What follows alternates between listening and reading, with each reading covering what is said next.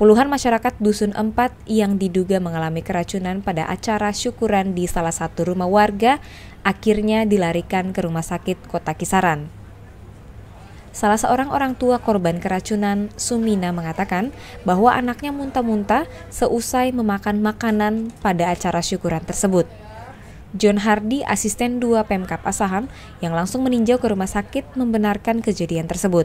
Saat ini, tim medis rumah sakit masih melakukan perawatan kepada para korban. tahu lah Pak orang dari puputan apa menyukur anak bayi itulah. Syukur anak bayi. Apa yang dimakan? Ya apa lah ya sayur-sayuran lah yang apa kan. Sayur-sayuran ya. Kok tahunya kapan Bu? Tahunya kapan kok bisa? Ya dari semalam sore kami pulang ke rumah ya terus langsung. Oh semalam apanya? Iya. Kejadiannya? Acaranya? Acara semalam. Semalam acaranya. Oh gitu.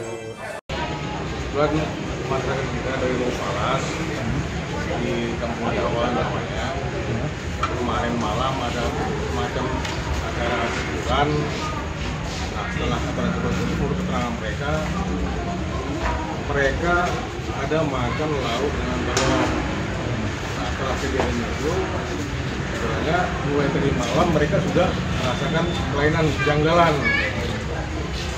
Nah puncaknya ternyata malam ini. Di mana masyarakat telah banyak yang merasakan keluhan-keluhan akibat makan mereka makan telur tadi makan sama eh, nangka.